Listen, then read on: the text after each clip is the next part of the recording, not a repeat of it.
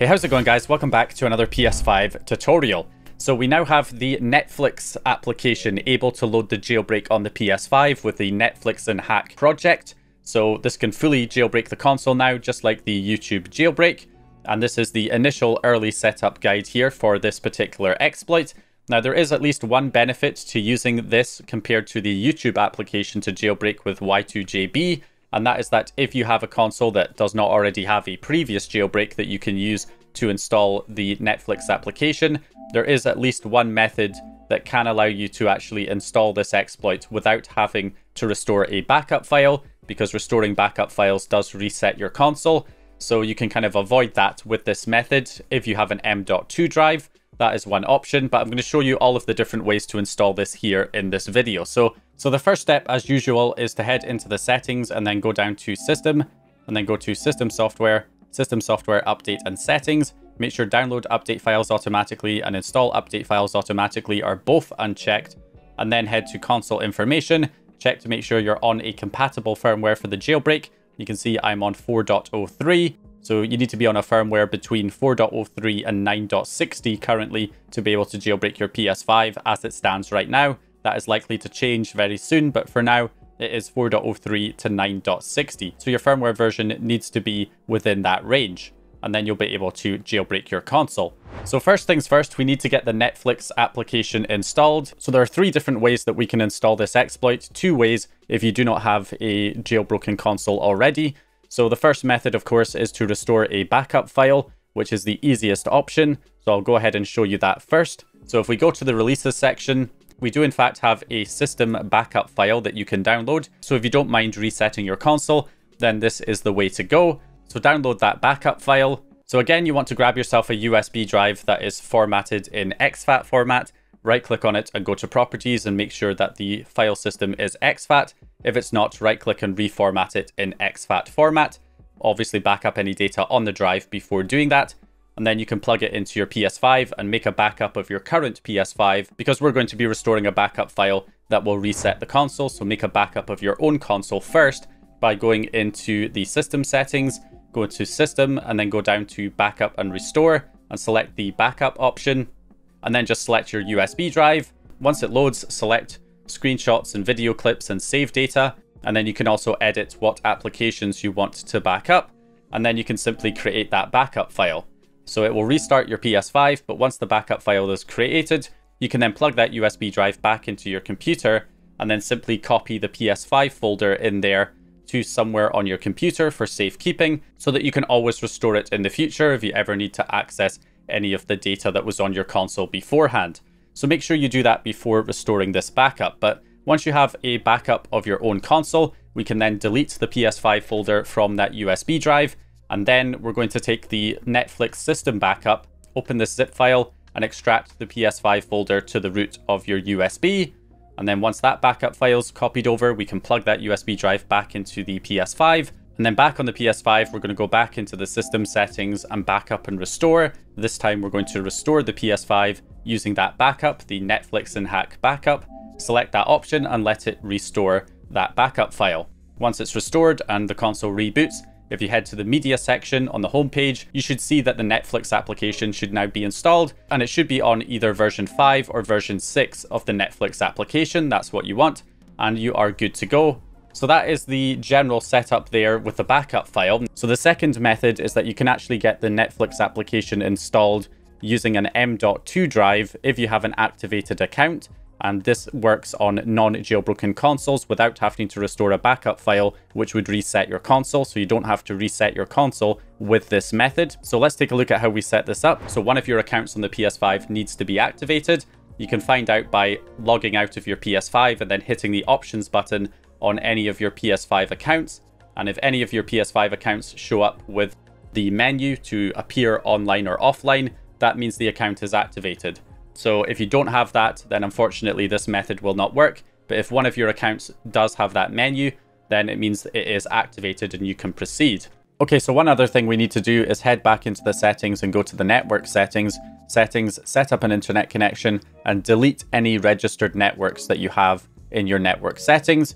Just make sure you forget those networks so that the console does not automatically try to connect to the internet because we don't want it updating the Netflix application once it's installed. So the way that this method works is that we have a bunch of image files here with the release for different sizes of NVMe drives. So you want to download the file that corresponds to the size of your NVMe drive. So if you have a one terabyte drive, it would be the 1000 gigabyte one. If you have a 500 gig NVMe drive, it would be this one. So I have a one terabyte NVMe drive, so I'm going to select this one. So at this point, we want to extract this over to our desktop. So I'm just going to copy it over here. And there it is. So 1000 gigabyte Netflix zip file. And we basically just need to write this image to our NVMe drive, which we can do using a program like Balena Etcher. Okay, so now all we need to do is connect the NVMe drive to your computer. You can plug it directly into one of the slots on the motherboard, or you can connect it to the computer using a NVMe to USB enclosure, uh, which is what I'm using. That would be the most convenient thing to use to connect it to the computer. Then we can open up the Balena Etcher software here and go to Flash from File, and then select the zip file that you downloaded that corresponds to the same size as your NVMe drive. Don't worry about the missing partition label warning, just click Continue, and then select the target drive as the NVMe drive itself. So my one terabyte NVMe drive that's connected via this USB adapter. And fair warning, before writing this to the drive, make sure you back up any data that's already on that M.2 drive. And then once that's done, we can simply click flash. And we'll say, yes, I'm sure I want to flash this. Yep, that's fine. So we will say yes to do so. So yeah, that's it. Now you just wait for this to flash. Okay, so once it says flash completed, we can close out of the program.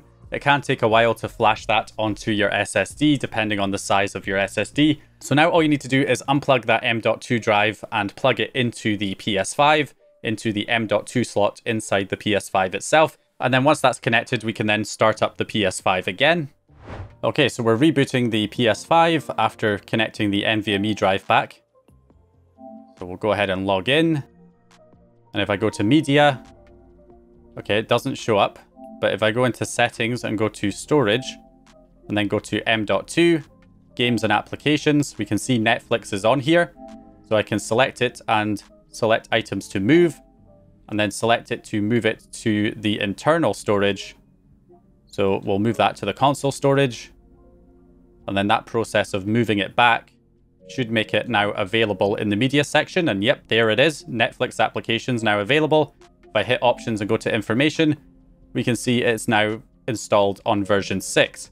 So that's a great way that you can actually get the Netflix application installed without having to restore a backup file which will reset your console, so you're not losing any of your previous save data and settings or installed applications by doing this. Now once you do move the Netflix application to the internal storage and it's showing up, you want to then reformat that M.2 drive because it's not really going to work properly the way it is right now. So we're just going to now reformat that M.2 drive and tell it to restart and reformat it so that it can be turned back into a working drive for your PS5.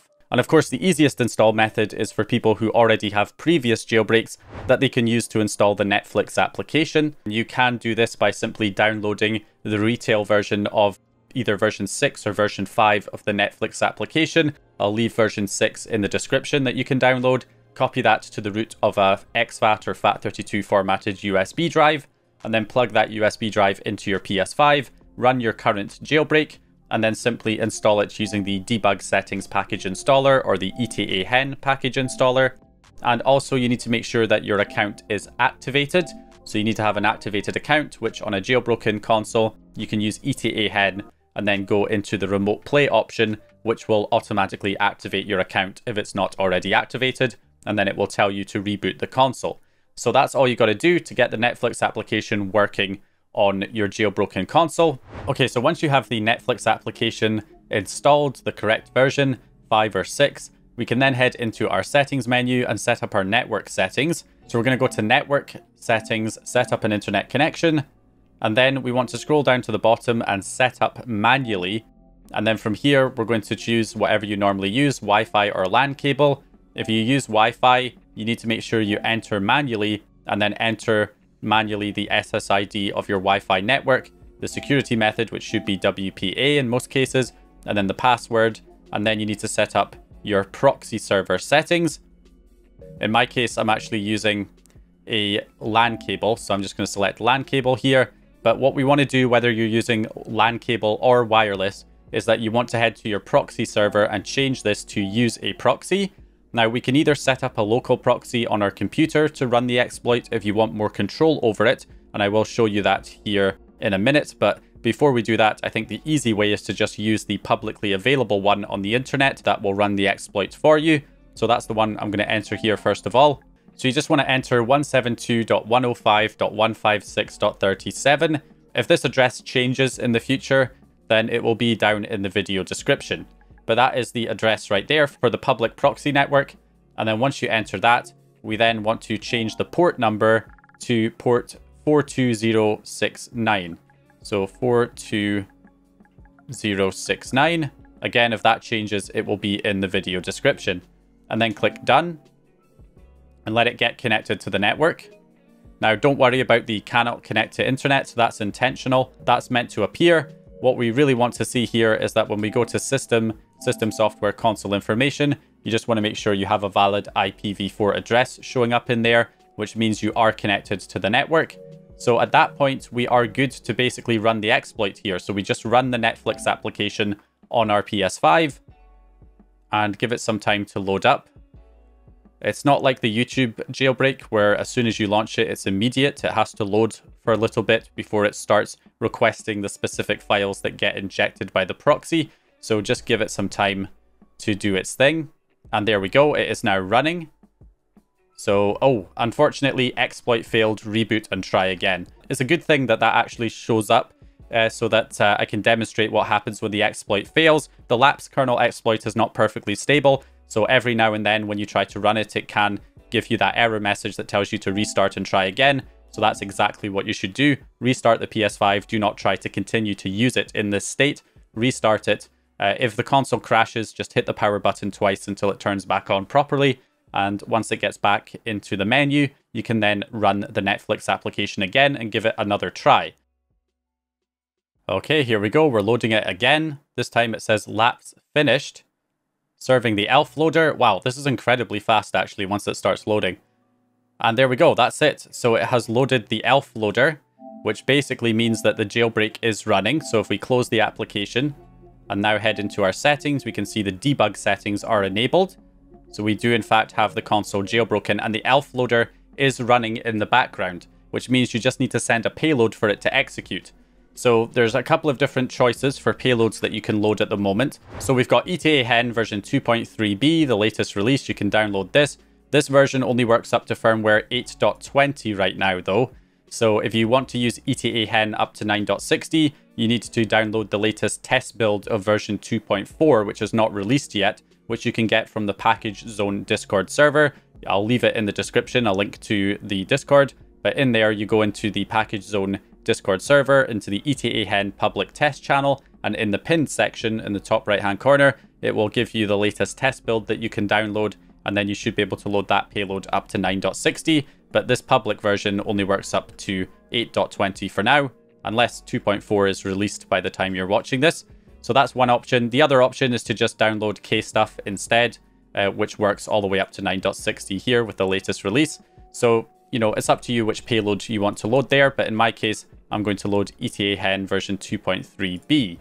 So because I'm on an older firmware than 8.20 right now. So all we need to do is use a payload injector like Netcat GUI here. I'll open up this program and then just grab the payload that you want to load and drag it into the software. And then enter 9021 as the port number. Enter the PS5's IP address, which I believe was 192.168.137.96 for my console and you've got the payload added and you just click inject payload. And when we inject the payload here, it should be received on the console and it should start trying to execute it. Sometimes there can also be issues loading ETA hen where it might crash while trying to load ETA hen, but if that loads successfully like it did here, then that means you are jailbroken. So let's head over to our settings, scroll down and we have the ETA hen toolbox up and running and the console is now effectively jailbroken. Now, if you don't like the idea of relying on a public server in order for the exploit to work on your console, then you can set up the man in the middle proxy server yourself on one of your own local machines, like your computer. So I'll quickly go over that. So all you need to do is go to the code for the project, Netflix and Hack, and download it as a zip file and extract that zip over to your computer.